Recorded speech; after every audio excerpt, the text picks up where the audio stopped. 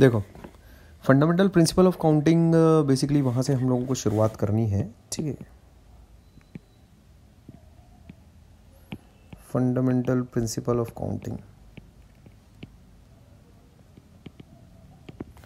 तो इस टॉपिक को पढ़ने के बाद बेसिक जो तुम्हारा नोशन है ना काउंटिंग का, वो चेंज हो जाएगा बेसिक नोशन मतलब तुम ऐसा सोचोगे कि यार ये इतनी कॉमन सेंस की बात है ये चीज़ मुझे पहले से क्यों नहीं आई? ये चीज़ कायदे से एक इंसान को फिफ्थ सिक्स से ही सिखा देनी चाहिए थी लेकिन ठीक है चलो कोई इशू नहीं। इसको इसको सीखने के पहले तुम्हें कुछ और जानने की ज़रूरत नहीं है। No complex algebra is required nothing मतलब बिल्कुल सादा एकदम लाइट माइंड के साथ तुमको बैठना है और जिस तरह से ये स्किल एक तरह से मैं ऐसा कहूँगा एक स्किल है इस स्किल को आ, सीखने की कोशिश करना। ये बस एक स्किल वाला काम है इसमें कुछ ऐसा अलजबरा कुछ ऐसा पढ़ाई लिखाई की कोई बात ही नहीं है। This is not study topic ठीक है? मतलब study topic in the sense strict sense में जैसे कैसा अगर तुम कॉम्प्लेक्स नंबर्स पढ़ रहे हो कैलकुलस पढ़ रहे हो कुछ चीज़ें मेमोराइज uh, करनी पड़ती है कुछ फॉर्मूले होते हैं। इसमें कोई ऐसा कोई फॉर्मूला वगैरह कुछ नहीं है। सबसे uh, मैं कहूँगा एक ऐसा टॉपिक जिसमें सबसे एक इंसान को लाइट वेट रहना पड़ता है अपने दिमाग से चिल जस्ट चिल ठीक है क्या? इन्जॉय ठीक है क्या? बढ़िया बराबर। तो इसमें तुम किसी इवेंट को है ना किसी इवेंट के Uh, किसी इवेंट को कितने तरीकों से एक्चुअल में या फिर किसी जॉब को कितने तरीकों से किया जा सकता है इस चीज़ को काउंट करोगे विदाउट एक्चुअली काउंटिंग इट ठीक है?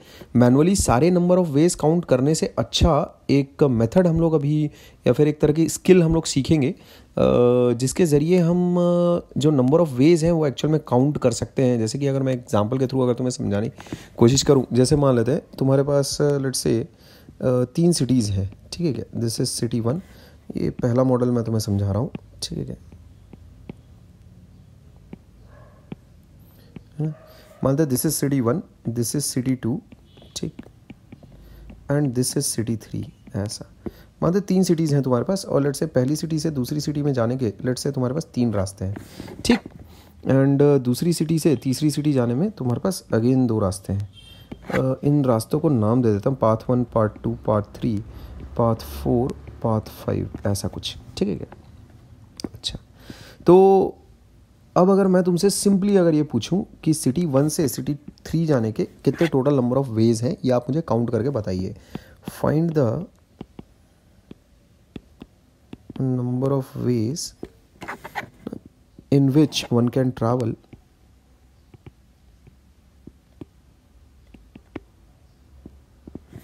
one can travel from मान लेते हैं सिटी वन ठीक है city one C one to city three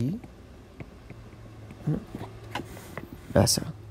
Via this is very important via city two ठीक है सी टू ऐसा।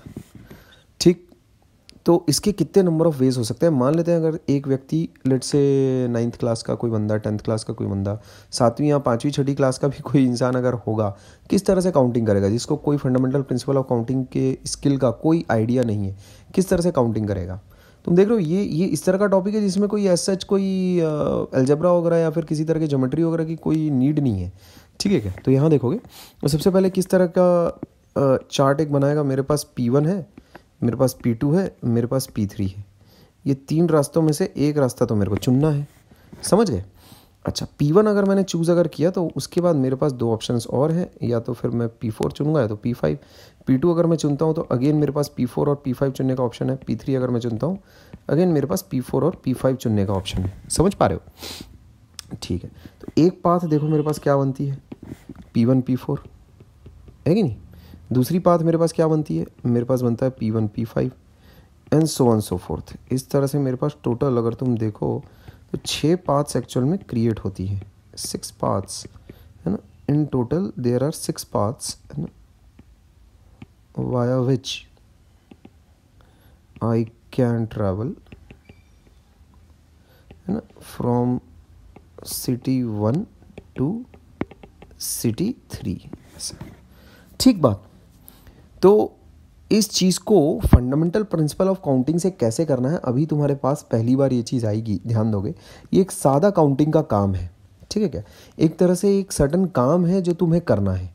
तो उस काम को करने के लिए देखो, दो स्टेप्स रिक्वायर्ड हैं। पहला तो तुम सिटी टू जाओगे एंड देन उसके बाद सिटी थ्री जाओगे। तो ये देखो काउंटिंग करने का जो तरीका है, वो मैं तुमको सिखाता हूँ। जैसे अगर मान लेते हैं मुझे सिटी वन अगर जाना है तो उसके लिए मेरे पास नंबर ऑफ़ ऑप्शंस कितने हैं? सिटी वन से सिटी टू अगर जाना है। तो मेरे पास टोटल नंबर ऑफ़ ऑप्शंस हैं तीन, ठीक है क्या? तीन ऑप्शंस हैं मेरे पास। तीन तरीके हैं, ठीक है क्या? थ्री वेज ऐसा लिखो उसको थ्री वेज है ना? और सिटी टू से अगर मुझे अगर लेट से अगर सिटी थ्री अगर जाना है then I have two ways ठीक है क्या? दो तरीके हैं मेरे पास।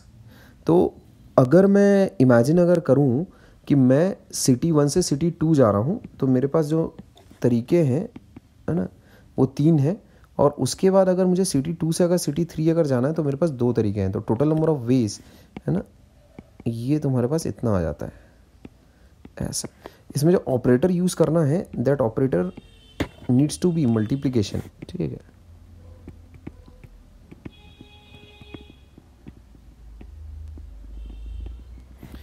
Is use in fundamental principle of counting ठीक है क्या? इस चीज़ का ध्यान रखना। अगर इस इस नोशन को अपने अंदर थोड़ा सा इनकॉर्पोरेट करने की कोशिश करो, अपने अंदर समाहित करने की कोशिश करो, जैसे कि मान लेते हैं अगर तुम्हारे पास लेट से एन नंबर ऑफ़ सिटीज़ हैं। मान लेते सिटी वन है सिटी टू है city three city four and city five you want to move from city one to city five ऐसा। और मान लेते हैं यहाँ पर तुम्हारे पास तीन रास्ते हैं। लेट से यहाँ पर तुम्हारे पास, है ना, चार रास्ते हैं, ठीक है क्या? यहाँ पर तुम्हारे पास एक रास्ता है एंड देन यहाँ पर तुम्हारे पास तीन रास्ते हैं, है ना, ऐसा कुछ। तो now the number of ways in which you can move from city one to city five city one से सिटी टू अपने को जाना है, फिर सिटी थ्री जाना है, फिर city four and then city five जाना है, ऐसा। ठीक है क्या? Number of ways in which you can travel from C1 to C5 via C2, C3, C4 ऐसा। ठीक है इसमें कितने नंबर ऑफ़ वेज होंगे देखो यहाँ पर। कैसे काउंटिंग करोगे? ध्यान दो। तीन इंटू कितना हो गया? चार इंटू एक इंटू है ना तीन ऐसा। Total number of ways that would be कितना हो जाएगा देखो। Total number of ways would be चार तीन बारह बारह तीन छत्तीस वेज ऐसा। ठीक है दिस इज़ योर आंसर समझ पा रहे हो? जैसे कि एक दूसरा मॉडल मैं तुमको बताता हूँ। अभी मैं फंडामेंटल प्रिंसिपल ऑफ़ काउंटिंग का तुम्हें स्टेटमेंट दे सकता हूँ। ठीक है? स्टेटमेंट उसका क्या कहता है? If an event can occur statement of fundamental principle of counting okay, that is if an event can occur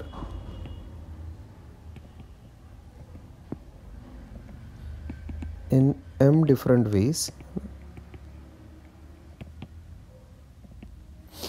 ठीक है following which another event can occur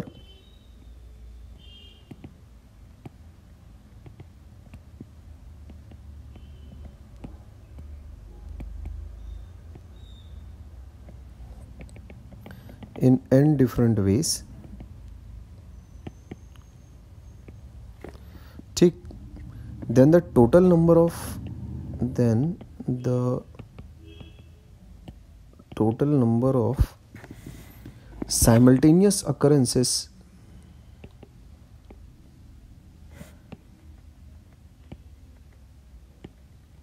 of both the events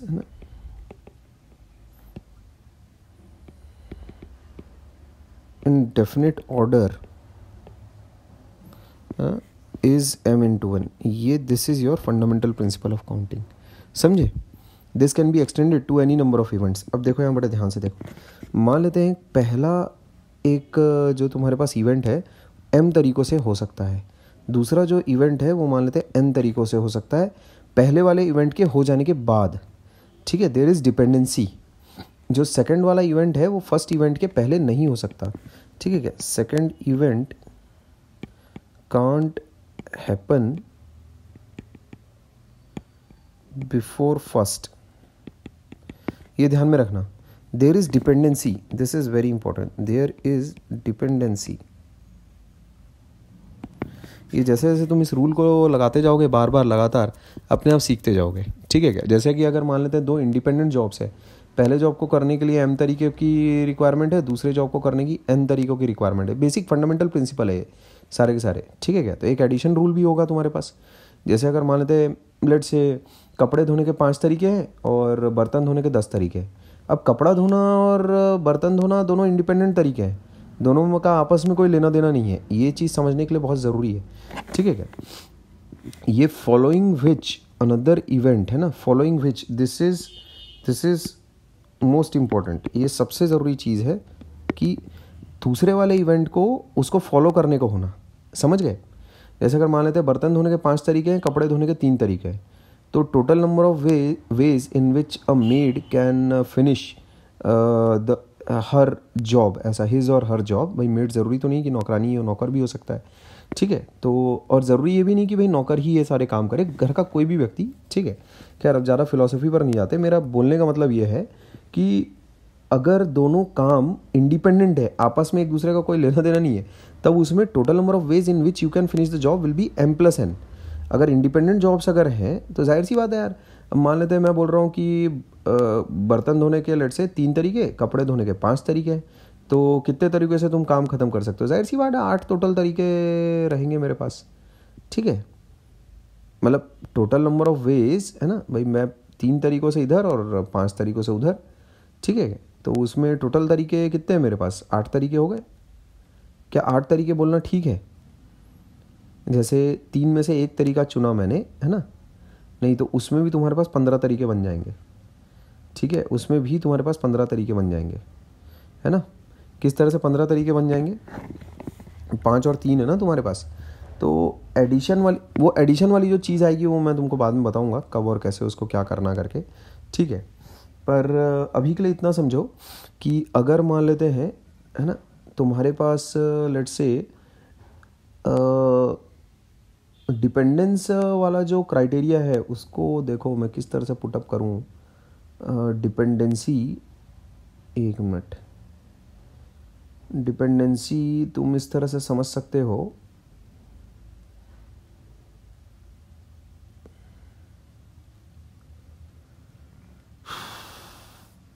dependency, ठीक है, अभी मेरे दिमाग में एक्चुअल में ऐसा कोई ख्याल नहीं आ रहा है बट ध्यान में रखो कि ये चीज़ तुम कब लगा सकते हो? जब तुम्हारे पास एक किसी सर्टन काम को करने के लिए बहुत सारे छोटे छोटे छोटे छोटे अगर तुम्हारे पास काम है, ठीक है तो पहले काम को करने के लिए अगर एम तरीके लग रहे हैं, दूसरे काम को करने के लिए लेट से एन तरीके लग रहे हैं, समझ रहे तीसरे काम को करने के लिए एल तरीके लग रहे हैं अगर चौथे काम को करने के लिए लेट से एक्स तरीके और ऐसा and so on so forth ऐसा।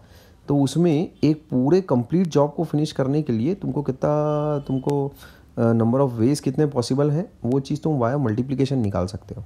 ठीक है क्या? अच्छा तो उसमें this is important that you are trying to complete the process in a definite order ठीक है? डेफिनेट uh, ऑर्डर में किस तरीके से कि भाई मैं मान लेते हैं सिटी वन से सिटी टू में अगर जा रहा हूँ, ठीक है? फिर देन सिटी थ्री में जा रहा हूँ मतलब ऐसा नहीं कि कुछ बाईपास वगैरह कर रहा हूँ मैं, ठीक है क्या? ये ऑर्डर मेरा क्या है? चीज़ों को, काम को पूरा करने का मेरा ऑर्डर ये है। वन से लेकर फाइव तक के यहाँ से मैं ट्रैवल कर रहा हूँ ऐसा। मेरा एक डेफिनेट ऑर्डर है। ऐसा मैं नहीं कर रहा हूँ कि कहीं कभी बाईपास कर रहा हूँ, कभी नहीं कर रहा हूँ। जैसे मान लेते हैं अगर मैं ऐसा बोलने लगूँ कि सिटी वन से सिटी टू गया, फिर अचानक से सिटी फाइव पहुँच गया। और दूसरा एक पाथ मैं ऐसा बना रहा हूँ कि जिसमें सिटी वन से सिटी टू फिर सिटी टू से सिटी थ्री फिर सिटी फोर को बाईपास करके मैं सिटी फाइव तक पहुँच रहा हूँ। ये वाली हरकतें मैं नहीं कर रहा हूँ। मैं हमेशा वही डेफिनेट ऑर्डर में ही काम को कर रहा हूँ। मतलब सिटी वन से सिटी टू जा रहा हूँ then city three then city four and then city five ये ऑर्डर मैं एक्चुअल में बाईपास नहीं कर रहा हूँ। ठीक है डिपेंडेंसी वाला जो पॉइंट है, उस चीज़ का एग्ज़ाम्पल मैं थोड़ा सा तुम्हें कोई सवाल आएगा तब बताऊँगा। अभी के लिए तुम इतना समझ के रखो कि जैसे एक काम अगर तुमको करना है जैसे मान लेते सिटी वन से मान लेते सिटी फाइव अगर तुम्हें अगर मूव अगर करना है तो इस मूवमेंट के दौरान बहुत सारे छोटे छोटे तुम्हें काम करने हैं। तुम्हें टू भी जाना है सिटी टू भी जाना है सिटी थ्री भी एंड सिटी फोर भी एंड देन सिटी फाइव तब तुम पहुंचोगे ना। तो इस दौरान ये जो जितने भी तुम्हारे काम है तुम खुद को एक कैसा आ, काम करते हुए इमेजिन करो और हर बीच में जितने छोटे छोटे तुम काम करते जा रहे हो, उसको कैसा काउंटिंग करते जाओ। जैसे मान लेते हैं डिश वॉशिंग एक काम है तुम्हारा, समझे क्या? लेट से एक डिश वॉशिंग एक काम है, जिस काम को करने के मान लेते हैं तुम्हारे पास पाँच तरीके हैं फाइव वेज ऐसा। और लेट से बर्तन बर्तन धोने मतलब मान लेते हैं तुम्हारा क्लोथ वॉशिंग के तुम्हारे पास मान लेते हैं तीन तरीके हैं, ऐसा। समझ रहे हो क्या? तो अब तुम कितने तरीक़ों से ये दोनों के दोनों कामों को कर सकते हो? तो भाई मैं उसमें सीधा ये बोलूँगा कि लेट से डिश वॉश अगर मुझे अगर करना है तो वो पाँच तरीक़ों में से एक तरीका मैं चूज़ करा। ठीक है क्या? और जो क्लोथ्स मुझे कैसा कपड़े जो धोने हैं, उसमें मैंने तीन तरीकों में से एक तरीका चूज़ किया है ऐसा। तो total number of ways actual में जो तुम्हारे पास बनेंगे, जितने तरीक़ों से तुम एक्चुअल में काम फिनिश कर सकते हो, वो फिफ्टीन वेज होंगे। जैसे कि, मान लेते हैं एक तरीका, उसमें से मैं ये कहता हूँ डी थ्री और सी टू ऐसा। This is one of the possible ways in which the job can be finished ये मैं क्या बोलने की कोशिश कर रहा हूँ? डी थ्री मतलब कपड़ा धोने का मैंने तीसरा तरीका चुना और सॉरी बर्तन धोने का मैंने तीसरा तरीका चुना और कपड़े धोने का मैंने दूसरा तरीका चुना। This is one of the possible ways तो इसमें ऑर्डर देखो ऑर्डर किस तरीके का फॉलो हो रहा है? Order is what order is पहले डिश वॉशिंग और फिर देन तुम्हारे पास जो कपड़े जो तुम धो रहे हो, है ना? पहले डिश फिर देन क्लोथ्स ऐसा। समझे क्या? ये ऑर्डर फॉलो हो रहा है। This is a definite order है ना? In which the job is being done ऐसा नहीं है कि कपड़े धुल ही नहीं रहे ठीक है क्या? मतलब पहले डिश धोनी है, फिर कपड़े धोने या फिर पहले कपड़े धोने फिर डिश धोनी है। इस बात पर मतलब मामला डिपेंड करेगा। ध्यान रखना। ठीक है?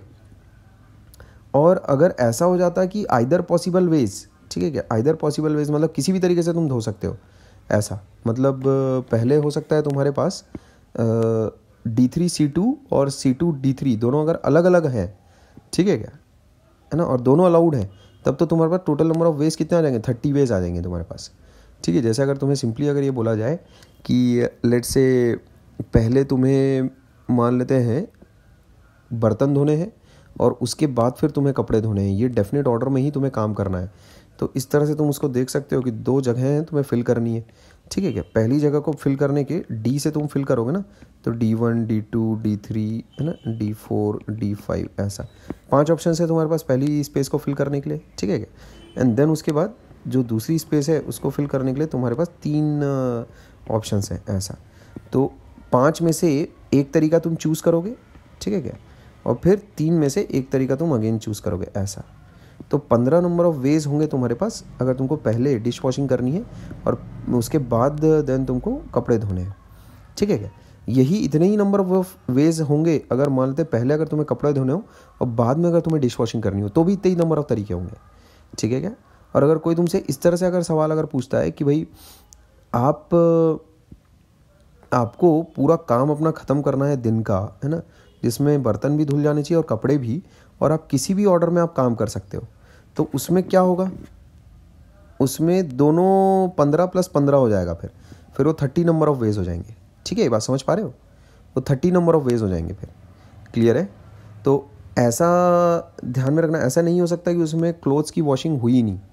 ठीक है क्लोथ्स की वॉशिंग हुई नहीं, ऐसा नहीं हो सकता। उसे बर्तन धुलेंगे एंड देन फिर कपड़े भी धुलेंगे, ये बात पक्की है। तो उसके टोटल नंबर ऑफ़ वेज कितने हो जाते हैं? पंद्रह। ठीक है क्या? या फिर अगर कोई तुमसे बोलता है कि पहले आप कपड़े धोने हैं फिर उसके बाद बर्तन धोने तो उसमें भी पंद्रह ही नंबर ऑफ़ वेज रहेंगे। थ्री इंटू फाइव करोगे ना उसमें भी। डेफिनेट ऑर्डर तो फॉलो हो ही रहा है। ठीक है क्या? लेकिन अगर कोई बोलता है कि इन आइदर ऑर्डर है ना? मतलब किसी भी सीक्वेंस में तुम कर सकते हो कुछ भी, ऐसा। तो फिर क्या होगा? फिर कैसे करोगे तुम? तो किसी भी सीक्वेंस में अगर तुम काम अगर कर सकते हो, है ना? तो फिर बात इस पर भी आ जाती है। बहुत बहुत सारे एक्चुअल में तुम्हारे पास केसेस हो सकते हैं फिर। समझे क्या? बहुत सारे केसेस किस तरीके से हो सकते हैं? जैसे देखो, बहुत बहुत सारे केसेस हो सकते हैं फिर। जैसे अगर मान लेते हैं, पहला काम अगर तुम अगर ये अगर देख रहे हो लेट से डिश वॉशिंग का पहला काम है, दूसरा काम मान लेते हैं क्लोथ वॉशिंग का है, ऐसा। ठीक है तो अगर ऐसा हो गया कि जो ये वाली स्पेस है, समझे क्या? पहले जो काम तुम कर रहे हो, मान लेते हो उसमें अगर तुम डिश वॉशिंग भी कर सकते हो और क्लोथ वॉशिंग भी कर सकते हो मतलब बर्तन भी धो सकते हो, कपड़े भी धो सकते हो तो पहले केस को करने के लिए तुम्हारे पास कुल आठ ऑप्शन हैं। समझे क्या? ठीक है, आठ में से कुछ भी चूज़ कर सकते हो ना। और दूसरा, जो तुमने चूज़ किया, वो कैसा होना चाहिए? अगर डिश वॉशिंग अगर कर चुके हो तो क्लोथ्स वॉशिंग नहीं कर सकते। समझ गए क्या? तब फिर तुम कपड़े नहीं धो सकते। और अगर तुम कपड़े अगर धो चुके हो तो फिर डिश वॉशिंग नहीं कर सकते। तो उसमें दो तरीके से तुम काम कर सकते हो, ऐसा कर लो। यहाँ देखो केसेस बना लो। ये केसेस एक्चुअल में अभी इस पॉइंट पर तुम्हारे साथ डिस्कशन करना थोड़ा ठीक नहीं है बट समझाने में ऐसा कोई इशू नहीं मुझे, ठीक है क्या? और समझ भी जाओगे तुम। मैं तुम्हें सवाल पहले क्लियरली फ्रेम कर देता हूँ, ठीक है क्या? उसके बाद लेकिन इस चीज़ को हटा दूँगा मैं यहाँ से डिलीट कर दूँगा, ठीक है क्या? देखो, ध्यान से देखो। जैसे कंडीशंस क्या है, ये तुम्हारे पास दो जॉब है है ना? मतलब डिश वॉशिंग करनी है और फिर कपड़े भी धोने हैं। ठीक है? ऐसा क्लोथ वॉशिंग करनी है। तो बर्तन एक ही है जिसको तुम्हें साफ़ सफ़ाई करनी है और जो कपड़ा है तुम्हारे पास वो भी एक ही है। पर डिश वॉशिंग करने के मतलब उस बर्तन को धोने के तुम्हारे पास कुल पाँच तरीके हैं। और जो क्लोथ वॉशिंग तुम्हें करनी है, उसको करने के तुम्हारे पास कुल दो तरीके हैं। ठीक है? तीन तरीके मान लो, तीन बोल रहे थे ना अपन, ऐसा। मतलब बर्तन एक है, कपड़ा भी एक है। ठीक है? अच्छा। अब बड़े ध्यान से देखो। अगर लेट से तुम्हें ये पूछा जाए कि आप कितने तरीक़ों से बर्तन और कपड़ा दोनों को साफ़ सफ़ाई कर सकते हो, ठीक है? तो ज़ाहिर सी बात है, अगर तुमने पहले अगर बर्तन अगर धो लिया तो उसके बाद वापस से बर्तन थोड़ी धोगे। तो बर्तन धो लिया तो फिर उसके बाद कपड़े धोगे। या फिर पहले तो तुम ये ऑर्डर फॉलो कर सकते हो, या फिर और, है ना? तुम ये ऑर्डर फॉलो कर सकते हो। सी डी, ऐसा। और का मतलब होता है प्लस, ठीक है क्या? ये इसका मतलब होता है प्लस, ठीक है? एंड का मतलब होता है मल्टीप्लिकेशन। जैसे यहाँ पर तुम एक्चुअल में सी वन से सी टू तुमको जाना ही है तो C one and C two and C three and C four and C five, ऐसे तुमको लिखना चाहिए उसको कायदे से। समझे? This this multiplication operator is nothing but and है ना? ये एंड रहता है मतलब एंड का मतलब साइमल्टेनियसली मतलब वो तो होगा ही होगा। मतलब सी वन भी चाहिए सी टू भी चाहिए सी थ्री भी चाहिए सी फोर भी सी फाइव भी, ऐसा। ठीक है क्या? अच्छा तो एंड और और का तुम आगे और अच्छा इस्तेमाल कैसा सीख जाओगे? ठीक है क्या? अभी देखते चलो बस वो चीज़ें मैं कैसे कर रहा हूँ। तो या तो तुम पहले डिश को धो सकते हो, फिर देन कपड़े या फिर पहले कपड़े एंड देन बाद में बर्तन, ऐसा। दोनों तरीके तुम कर सकते हो तो और से और ऑपरेटर से बीच में मैंने कनेक्ट किया है। अब पहले अगर तुम डिश अगर धोते हो तो उसके कितने तरीके हैं? पाँच। है ना? और फिर देन उसके बाद कपड़े अगर तुम धोते हो तो देन उसके तरीके तुम्हारे पास हैं तीन। तो ये टोटल नंबर ऑफ़ वेज हो जाएँगे तुम्हारे पास पंद्रह। लेट से अगर तुम पहले अगर कपड़े धोते हो लेकिन तो उसमें तुम्हारे पास तीन नंबर ऑफ़ वेज हैं एंड देन उसके बाद अगर तुम बर्तन धोते हो देन उसके बाद तुम्हारे पास पंद्रह नंबर ऑफ़ तरीके हैं। ऐसा। तो टोटल नंबर ऑफ़ वेज जो होंगे तुम्हारे पास that would be thirty thirty ways of finishing the job मतलब मान लेते हैं उसमें अगर ऐसा है कि पहले बर्तन धुले और देन कपड़े धुले और या फिर अगर पहले कपड़े धुले और बर्तन धुले, ये वाली चीज़ें अलग अलग अगर हैं, जैसे कि मान लेते हैं D five C two this indicates what that जो डिश है, उसको पाँचवें तरीके से साफ़ किया गया है और जो कपड़े हैं, उसको दूसरे तरीके से धोया गया है। समझे? तो ये ये तरीका और एक ये तरीका है है ना? ये दोनों डिफरेंट है। समझे क्या? और both this things are different if they are different then the total number of ways in which the job can be finished will be thirty समझे क्या तब फिर तीस तरीक़ों से तुम एक्चुअल में पूरे काम को ख़त्म कर सकते हो। ठीक है बात? ठीक है? तो जो मल्टीप्लिकेशन वाला जो रूल है, ये अभी तुम्हें थोड़ा सा और अच्छे से समझाने के लिए मैं एक और मॉडल देखो कंसिडर करता हूँ, जैसे, है ना? यहाँ देखो, मान लेते हैं मल्टीप्लिकेशन वाला रूल तुम अभी सीख जाओगे, और अच्छे से सीख जाओगे। चलता क्या है उसमें, है ना? यहाँ देखो, जैसे फॉर एग्ज़ाम्पल मान लेते हैं तुम्हारे पास एक सिनेमा हॉल है। समझे? Let's say there is a cinema hall है ना? ऐसा कुछ है। और उसमें लेट से तुम्हारे पास कुछ सर्टन नंबर ऑफ़ डोर्स हैं। मान लेते हैं पाँच पाँच डोर्स हैं तुम्हारे पास। ठीक है, ऐसा ले लो। उसको ऐसा कर लेते हैं। ये अपने पास डोर वन ठीक है डोर टू थ्री फोर और फाइव लेट से पाँच डोर्स हैं अपने पास। है ना? So we have to find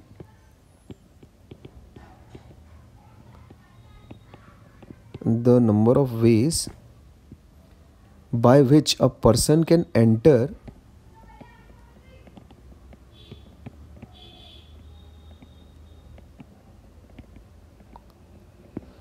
and leave a cinema hall by a different door. Different door यहाँ देखो काम कैसे चलेगा। मान लेते हैं, अगर वो डोर वन से अगर एंट्री अगर करता है ऐसा तो फिर उसी डोर से लीव नहीं कर सकता। उसको बाकी किसी और डोर से कैसा जाना पड़ेगा, निकलना पड़ेगा। तो यहाँ देखो एंटर करने के तुम्हारे पास एक्चुअल में पाँच तरीके हैं, है ना? पाँच में से एक डोर तुम चुनोगे। एंड देन उसके बाद एंड समझे क्या? एंड देन उसके बाद फिर तुम चार में से एक डोर चुनोगे। समझ गए? तो उस काम को इमेजिन करो करते हुए तो पहले काम को करने के तुम्हारे पास पाँच तरीके, दूसरे काम को करने के उसी सक्सेशन में तुम्हारे पास उसी को फॉलो करते हुए तुमको चार में से एक तरीका चूज़ करना पड़ेगा। तो यहाँ the total number of ways will be five into four समझे there are twenty number of ways ठीक है, इस चीज़ का अगर मैं तुम्हें, जैसे कि पहले मैंने ट्री डायग्राम बनाकर दिखाया था, अगर उसी प्रकार से अगर बताऊँ तो यहाँ देखो D one D two D three D four and D five और हर एक के लिए तुम्हारे पास फिर चार ऑप्शंस रहेंगे। डी वन के लिए तुम्हारे पास डी टू डी थ्री है ना? डी फोर डी फाइव समझ पा रहे हो? ऐसा। चार ऑप्शंस रहेंगे। यहाँ भी तुम्हारे पास चार ऑप्शंस होंगे। ठीक है यहाँ भी चार होंगे and so and so forth है ना? तो टोटल नंबर ऑफ़ वेज तुम यहाँ पर देख सकते हो। कितने हो जाएँगे? फोर इंटू फाइव ना ट्वेंटी आ रहे ट्वेंटी नंबर ऑफ़ वेज ठीक है. Twenty ways by which you can enter the cinema hall by a certain door and leave by another door ठीक है? तो ऐसे ट्वेंटी नंबर ऑफ़ तरीके हो सकते हैं. जैसे अगर तुमसे ये अगर पूछ लिया जाता कि मान लेते हैं if he can enter and leave by any door ठीक है क्या? अगर मैं ऐसा अगर तुम्हें कंडीशन अगर दे दूँ, ठीक है क्या? If he can enter or leave by any door then the total number of ways would have been है ना? कितना हो जाता फिर? Then number of ways then number of ways would have been five into five बराबर twenty five ways समझ रहे हो क्या? क्योंकि फिर अंदर जाने के तुम्हारे पास, है ना? अंदर जाने के तुम्हारे पास पाँच रास्ते और फिर बाहर निकलने के अगेन पाँच रास्ते। ठीक है क्या? ये दो काम, भाई, पहले पहले तुम पाँच में से एक डोर चुनोगे एंड देन उसके बाद फिर पाँच में से अगेन एक डोर चुनोगे। तो टोटल नंबर ऑफ़ तरीके तुम्हारे पास कितने हो गए? ये मल्टीप्लीकेशन क्यों आ रहा है? इस चीज़ को समझने की कोशिश करो। जब भी कभी तुम्हारे पास सक्सेशन में दूसरा काम हो, तब उसमें मल्टीप्लिकेशन आएगा।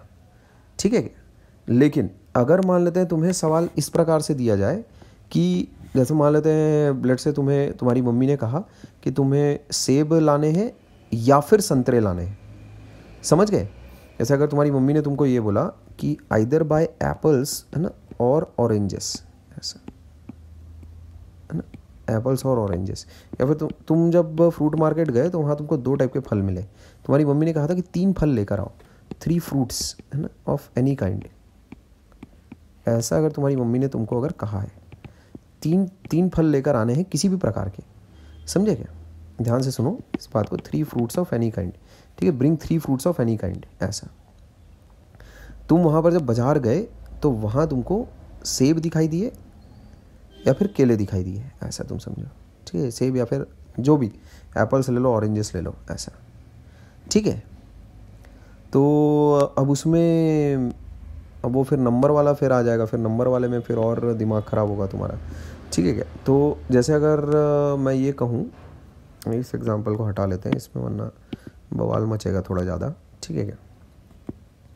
आ, मैं जो तुम्हें पॉइंट बताना चाह रहा हूँ वो ये है कि अगर मान लेते हैं डिपेंडेंसी अगर नहीं रही this this operator is use whenever there is some kind of dependency मतलब पहला काम करने के बाद ही दूसरा काम अगर हो सकता है देन देर इज़ डिपेंडेंसी समझे क्या?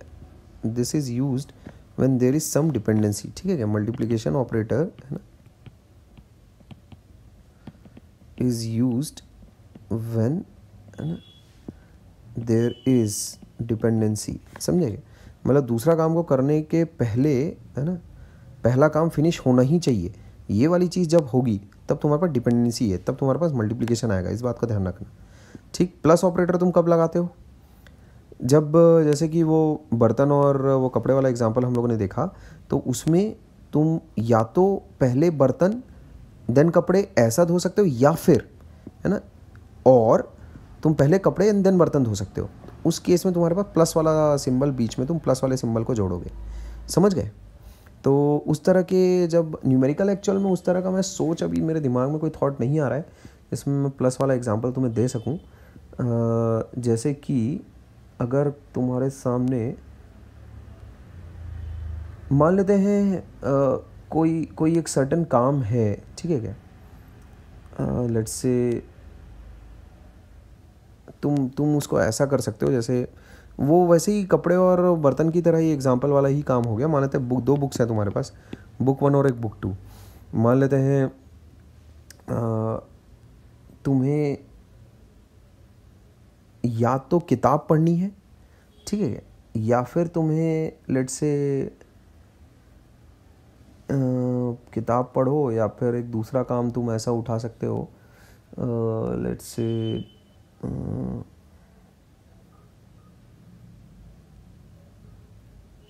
किताब पढ़ो या फिर स्टूडेंट लाइफ में और क्या, तुम्हारा किताब पढ़ने के अलावा तुम नोट्स बना सकते हो, ऐसा मैं लिख लूँ, समझे क्या?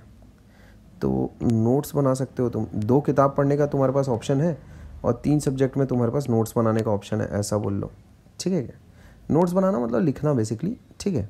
तो रीडिंग और राइटिंग ऐसा एग्ज़ाम्पल मैं ले लेता हूँ, ठीक है तो तीन किताबें तुम एक्चुअल में पढ़ सकते हो, या फिर नोट्स बनाने वाला जो काम है, वो दो ऐसे सब्जेक्ट्स हैं जिस पर तुम नोट्स बना सकते हो, ऐसा। ठीक है? तो उसमें मेरा ऐसा बोलना है कि या तो पढ़ ले या फिर नोट्स बना ले।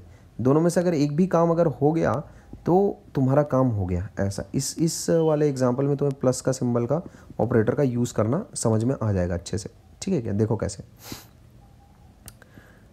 या तो तुम पढ़ लो, ठीक है क्या? या तो आइदर यू आर रीडिंग ठीक है क्या? आइदर यू आर रीडिंग और अगर तुम लिख भी अगर रहे हो तो भी तुम्हारा काम हो जाता है। Either you are reading or you are writing दोनों में तुम्हारा काम कैसा हो जाता है।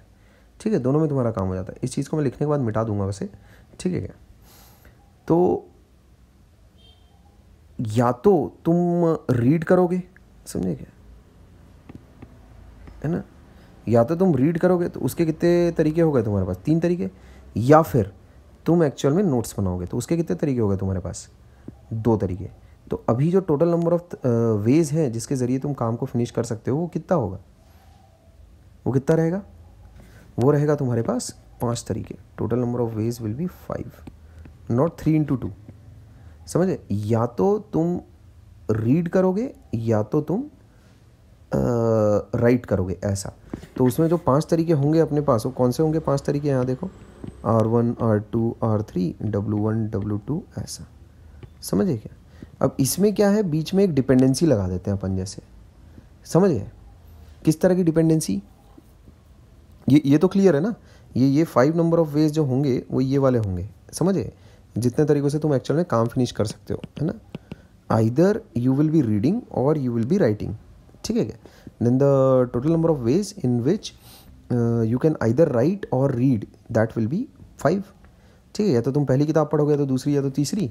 या फिर तुम पहले वाले सब्जेक्ट पर नोट्स बनाओगे तो दूसरे वाले सब्जेक्ट पर नोट्स बनाओगे? ऐसा। तो पाँच तरीक़ों से तुम काम खत्म कर सकते हो। यहाँ देख रहे हो ना, यहाँ तुमने प्लस किया है। Three plus two that is equal to five five number of ways ऐसा। तो प्लस वाली चीज़ कहाँ पर आएगी? जहाँ तुम, तुम्हारे पास ये और वाला मसाला रहेगा। अब ये कैसा, ये सेंस एंड और और वाला ये सेंस तुम्हारे अंदर कैसा खुद से डेवलप होना चाहिए वाया प्रॉब्लम सॉल्विंग समझे? तो एक बात ध्यान में रखो जब एक जॉब को दूसरा जॉब इस तरह से फॉलो करता है कि पहला जॉब जब तक फिनिश ना हो तब तक दूसरा जॉब हो ही नहीं सकता। ठीक है क्या? इसी इसी एग्ज़ाम्पल को थोड़ा सा अगर मैं कॉम्प्लिकेट अगर करूँ तो थोड़ी सी मज़ा आए। इसमें बी पेशेंट है ना? मैं इस चीज़ को थोड़ा सा और कॉम्प्लिकेट करता हूँ। देखो ऐसे। या तो तू रीड कर ले या तो तू पढ़ ले। अभी ये बात तो है। ठीक है क्या?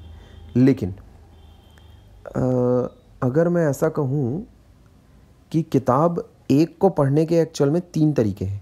समझे क्या? भाई, पहला कंडीशन तो मैं क्या लगा रहा हूँ? आइदर रीड है ना? और राइट ठीक है क्या? अच्छा। दूसरी कंडीशन में क्या लगा रहा हूँ? रीडिंग के लिए, है ना? You have two books available three books available है ना? Book one book two and book three ऐसा। बुक वन को पढ़ने के, है ना? तुम्हारे पास लेट से जैसे रीडिंग के लिए मान लेते हैं तीन, तुम्हारे पास किताबें अवेलेबल है और राइटिंग के लिए मान लेते हैं तुम्हारे पास है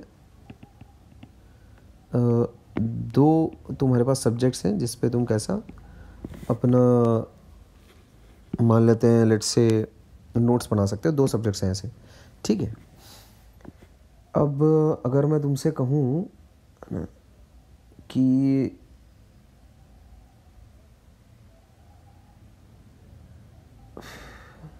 इसमें डिपेंडेंसी अगर मुझे अगर लेकर आनी है, ठीक तो कुछ इस प्रकार से लानी पड़ेगी।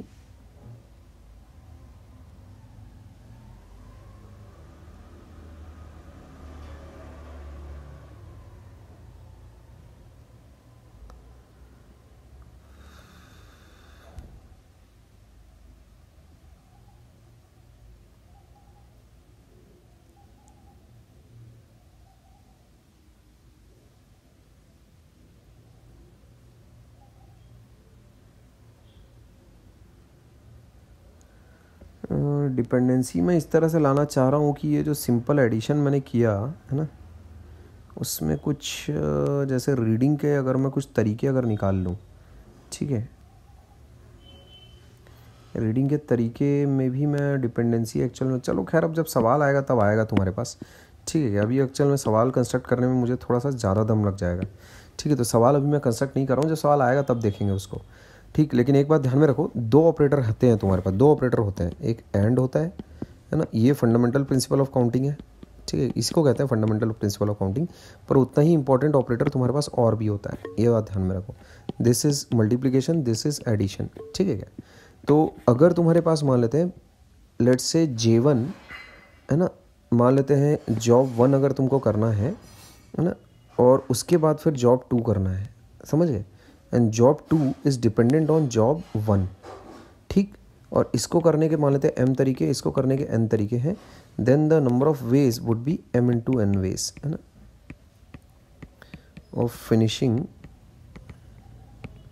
J one J two ये बात फंडामेंटल प्रिंसिपल ऑफ़ काउंटिंग है। ये समरी है तुम्हारी। ठीक है? जैसे अगर मान लेते हैं, सिनेमा हॉल है तुम्हारे पास, पाँच गेट हैं तुम्हारे पास घुसने के लिए एंड देन उसके बाद निकलने के लिए। तो बिना तुम घुसे तो निकल नहीं सकते ना। तो जो निकलना है तुम्हारा वो डिपेंडेंट है। मतलब एक काम तुम किसको बोलोगे? घुसना और फिर निकलना। इसको बोलेंगे अगर एक काम? तो घुसना तुम्हारे पास एक सब पार्ट है एंड देन उसके बाद निकलना। तो इस तरह से जब घुसना और निकलना एक दूसरे पर आपस में डिपेंडेंट है तो उसमें पाँच तरीक़ों से तुम एक एक गेट चुनोगे। है ना? पाँच में से एक तरीका होगा तुम्हारा गेट चुनने का। पाँच में से एक गेट चुनोगे एंड देन उसके बाद अगर बचे हुए गेटों में से अगर तुमको निकलना है तो बाकी चार गेट में से तुम फिर अगेन एक गेट चुनोगे, ऐसा। ठीक है? तो इस चीज़ को जिस ऑपरेटर के साथ तुम कनेक्ट करोगे, वो मल्टीप्लिकेशन ऑपरेटर होगा, ये बात ध्यान में रखो। जब भी कभी डिपेंडेंसी होती है, ठीक है, तब तुम मल्टीप्लिकेशन ऑपरेटर का इस्तेमाल करते हो। लेकिन जब डिपेंडेंसी नहीं है, ठीक तो जैसे कि जब तुम्हारे पास या फिर वाली कंडीशन आती है मतलब ये भी कर सकता हूँ या फिर वो भी कर सकता हूँ, ऐसा। समझ गए? तो अगर मान लेते हैं तुम्हारे पास ऐसा है कि तुम जे भी फिनिश कर सकते हो या फिर, है ना, तुम मान लेते हैं डब्लू भी फिनिश कर सकते हो, ऐसा। जे को फिनिश करने के, मान लेते हैं तुम्हारे पास दस तरीके हैं, है ना? और मानते हैं डब्लू को फिनिश करने के तुम्हारे पास पाँच तरीके हैं, ऐसा। तो या तो तुम जे फिनिश करो या फिर डब्लू फिनिश कर लो ऐसा। And if you finish either of J or W then if your job is complete then total number of ways in which the job can be done will be fifteen मैं इस चीज़ को लिखवा देता हूँ। और कब तुम्हारे पास काम में आएगा? जैसे आइदर जे और डब्लू कैन बी डन ठीक है टू कंप्लीट द टास्क ऐसा। समझे क्या? तो या तो तुम जे फिनिश करो, या तो डब्ल्यू फिनिश करो तो पूरा काम तुम्हारा हो गया।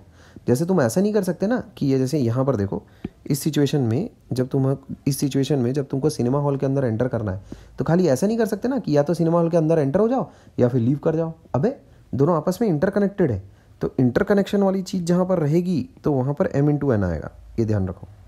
ठीक है? अब ये तुम सवाल बनाते बनाते एक्चुअल में अच्छे से सीख जाओगे, बहुत अच्छे से सीख जाओगे।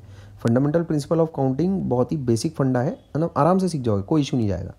ठीक है, मैं उसमें इलस्ट्रेशंस बहुत सारे लेने वाला हूँ। ठीक तो ध्यान रखना इस चीज़ का। लेकिन जैसे अगर तुम्हारे पास ऐसा है कि या तो भाई आम खा ले या तो संतरा खा ले, दोनों में से तेरी मर्ज़ी। अब आम खाने के पाँच तरीके हैं, संतरे खाने के दो तरीके हैं, ऐसा। तो टोटल नंबर ऑफ़ तरीके जिससे कि तुम एक्चुअल में अपना काम ख़त्म कर सकते हो, वो क्या होगा? या तो आम चूज़ करेगा या तो संतरा चूज़ करेगा। समझे क्या? तो पहले तो एक ये हो गया।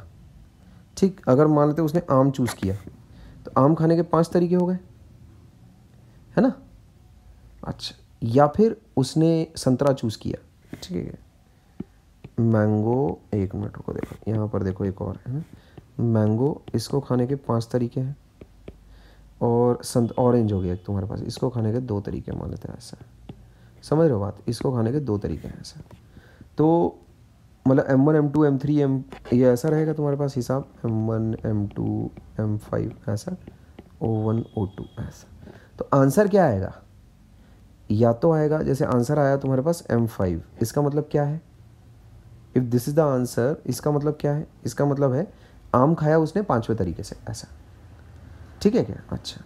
तो अभी तुम्हारे पास ऑप्शंस क्या क्या है? कितने तरीकों से एक्चुअल में तुम एक फल खा सकते हो। Number of ways by which you can eat a fruit number of ways in which you can eat a fruit है ना? तो वो कितने तरीके हो जाएँगे? आइदर मैंगो और और रहेगा बीच में। और ऑरेंज है ना? और ऑरेंज ऐसा रहेगा।